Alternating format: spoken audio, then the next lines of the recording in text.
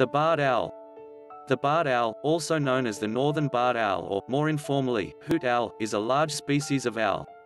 A member of the true owl family, Strigidae, they belong to the genus Strix, which is also the origin of the family's name under Linnaean taxonomy. Barred owls are brown to grey overall, with dark striping on the underside contrasted immediately above that with similarly dark and tight barring about their throat and nape.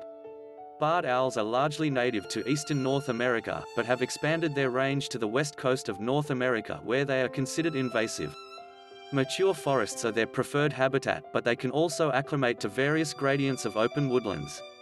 Their diet consists mainly of small mammals, but this species is an opportunistic predator and is known to prey upon other small vertebrates such as birds, reptiles, and amphibians, as well as a variety of invertebrates. Barred owls have typical nesting habits for a true owl, tending to raise a relatively small brood often in a tree hollow or snag deep in the woods. As a result of the barred owl's westward expansion, the species has begun to encroach on the range of their cousin, the threatened spotted owl. Evidence shows the assorted threats posed by the invading barred species are only increasing. In response, biologists have recommended culling operations to mitigate the negative effect of the barred on the spotted owl species. Description the barred owl is considered somewhat subdued and drab in coloration compared to the sometimes rich coloring of other sympatric owls. Overall, this owl is grayish-brown or brown. The brownish color extends from the head to the back. Barred owls are scalloped with white bars on the mantle and the back, bearing as well some whitish spotting on the wing coverts. The underside has a pale creamy grey-brown base color overlaid about the throat and upper chest with horizontal, slightly crescent-shaped barring, while the belly is boldly streaked in a vertical pattern. The streaking is usually blackish, dusky brown, or sometimes rufescent reddish-brown. The head is fairly large and rounded with no ear tufts. The facial disc is pale grayish-brown with darker yet subtle concentric lines. The bill is pale straw yellow while the cere is horn-colored, its eyes are of a blackish-brown color, this being the only true owl of the eastern United States which has brown eyes, all others have yellow eyes. The eyes may appear intensely black in the field and, although large, are fairly closely set. The barred owl has well-developed eye anatomy.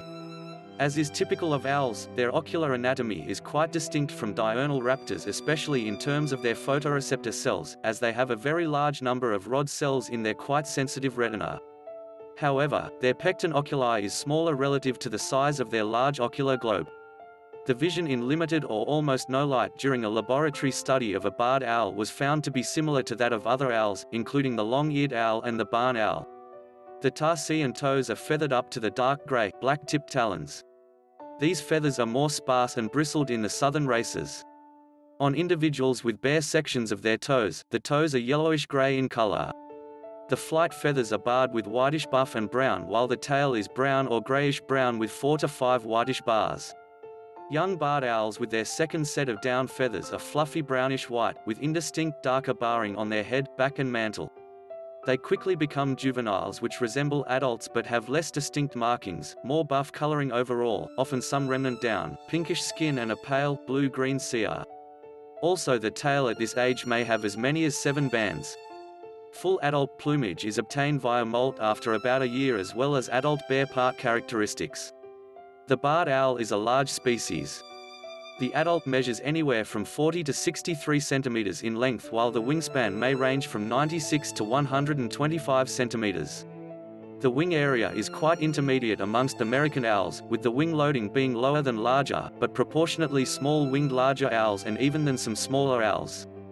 The barred has higher wing loading than a number of smaller, often rather slenderly built owls that have proportionately larger wings.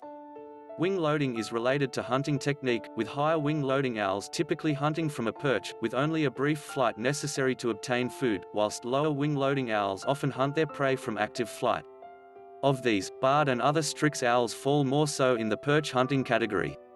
As is the case in most owls, the various wing feathers of barred owls are uncharacteristically soft and bear a comb-like shape, which in turn renders their flight functionally silent during their hunts. Like most birds of prey, the female is larger than the male barred owl, sometimes described as reverse sexual dimorphism.